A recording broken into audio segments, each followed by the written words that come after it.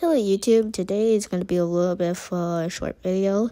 Just going to let you know I'm canceling the TC ending video. Not ending with bad. I'm going to I'm going to uh, cancel it. Yippee. So I can work on more videos and maybe more idle content.